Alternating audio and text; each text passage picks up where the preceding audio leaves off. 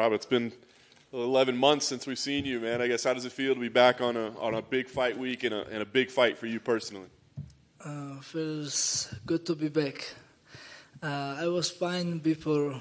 Uh, I was just waiting right opponent, but after I'll just fight, I was boring and uh, I was missing fight. But now I'm finally here.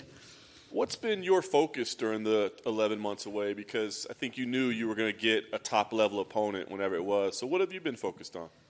I was just training and get get better, and uh, I went to Spain training with Ilia Topuria. Yeah, that was a good trip. I had fun there, and after that, I went to, for New Year uh, in my country, but I get COVID there. I had to uh, stay quarantined home and keep a mask on.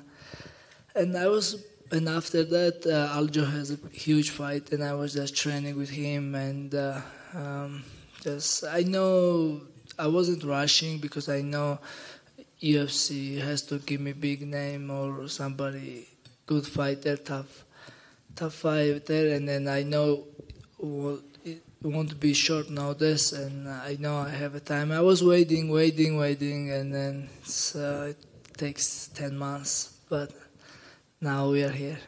And you did get a big name, a legend of the sport in Jose Aldo. I'm just curious if there's a, a different feel when it's somebody that obviously has accomplished as much as he has. Uh, nothing uh, different feeling right now, but uh, when UFC called me and gave me this fight, I was shocked because I was ready for everyone, but not for Jose Aldo. Like I mean, I was thinking everybody else, but not Jose Aldo because uh, I was thinking I wasn't big enough, but I guess I am. And then and then he take fight with me. It means a lot. What do you think of his skills? Because we think of him as a striker, but he's got great takedown defense as well.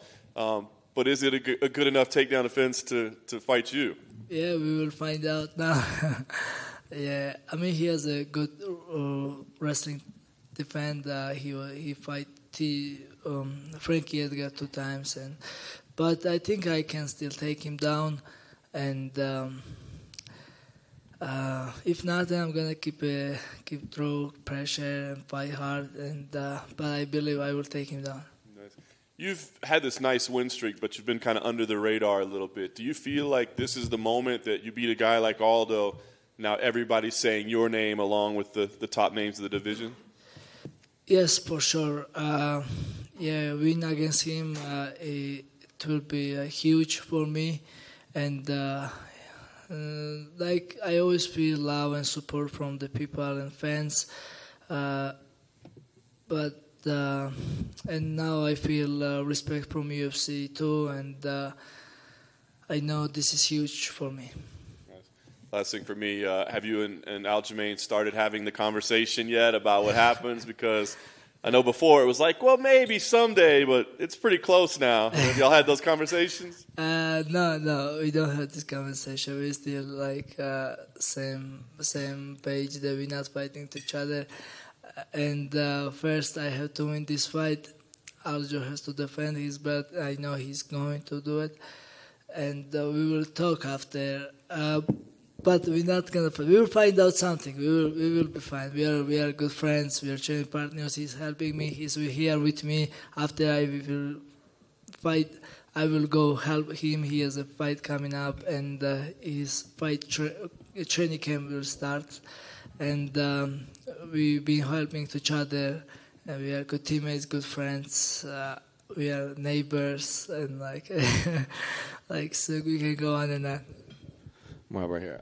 You you had mentioned the Jose Aldo's like uh, strong takedown defense in his two fights against Frankie, but he's also fought guys like Chad Mendes, who are obviously high level wrestlers. So, how would you compare your style of wrestling in MMA to his past opponents? Um, my background is judo.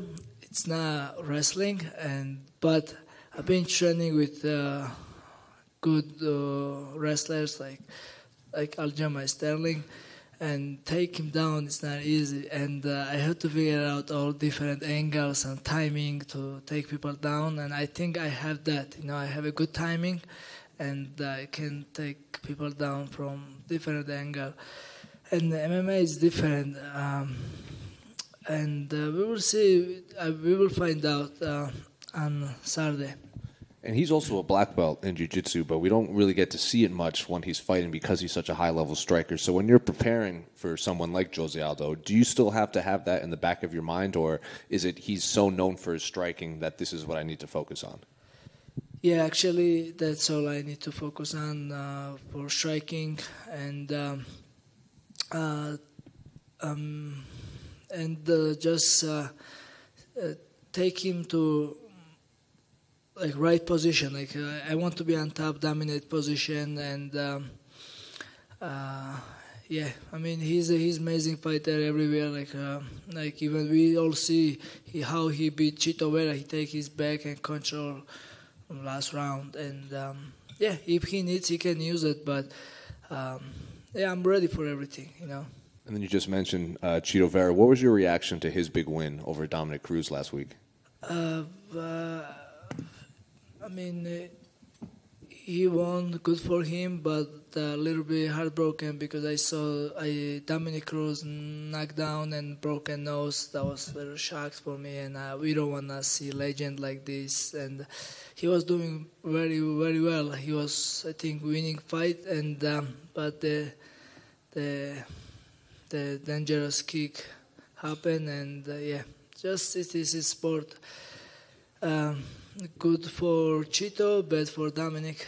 So.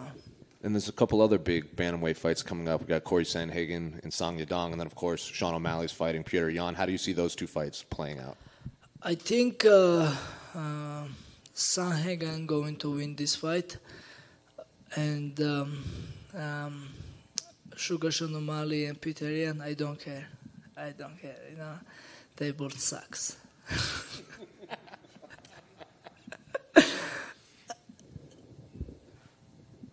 Merab, back here to your right. We know that you put together a high pace. Uh, do you feel like you've had to prepare to win this fight on the feet and to prepare for Jose to be able to defend the takedowns? I think yes. it's gonna be hard. I'd rather take him down and stay top and win uh, uh, easy this way because it's easy to judge for you guys, for judges. You know, you know everybody knows that my first uh, like uh, fight, my first fight UFC like judges. Um, take from me, and uh, even I was sick and I wasn't uh, feeling good. I was still fighting hard, but and then uh, that's why after this I make sure I take people down and uh, it's easy to score and you see I'm winning I'm on top I'm I'm in dominant position and just yeah just boom boom and with talk of a title opportunity being possible here in the near future does it feel like doing and getting a finish in a spectacular fashion also needs to be prevalent here say again uh, that getting a finish would be very important towards getting you a title shot? Uh, listen, I, I want to win against legend Jose Aldo. I don't care how I can win. You know, the win against him that makes me. Uh, it's already huge for me, and this is big win. Every win UFC is big, but a win against Jose Aldo means a lot for me, and this is huge and like life changing for me. And uh, yeah, that's it. Thank you, sir. Thank you. Hey, Merab. Um, hey. I just had a question for you about uh, Nazim Sadykhov last night. Obviously, he got the, the contract on Dana White's Contender Series. Aljo was there. I could hear him going nuts in the crowd. Yeah. I just wanted to hear your thoughts on it as well. Yeah, of course, he's our teammate, and uh, we are small but like a close team, and we all happy to each other. We all training to each other, to helping each other, and yeah, Aljo was there I saw on TV and I, I heard his voice and he was coaching from the side. And Nazim, and of course I'm happy for him. He has a huge knockdown. He's talented, and uh, we was watching uh, uh, on the phone yesterday when we got here, and uh, I'm just happy for him. And uh, best of luck. Thank you, guys. Uh, I wanna to say thank you for my sponsors, GA Logistics, Setanta, Georgia. Thank you guys so much.